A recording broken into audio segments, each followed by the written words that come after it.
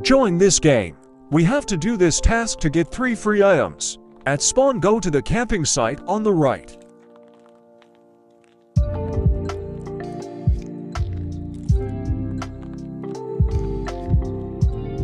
Go in here behind the present. Walk through it. And open the tiny presents. Then walk through the gold butterfly. There you got the bronze wings. Go back and open the map. Teleport to this location. Open the map again and go to this location. Go over this hill and go to this cave. Go in the secret wall.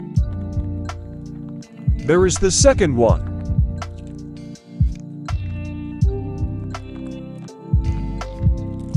Go in the water. Interact with this starfish. Hug the right side of the maze to find the exit.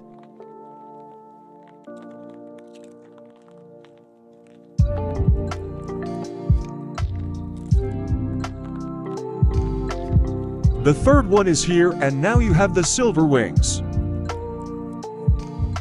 Now go here.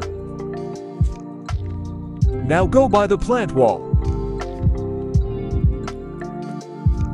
There is a secret wall, here. Now this is the fourth one. Now go back here. Go to this tower. Climb the vine.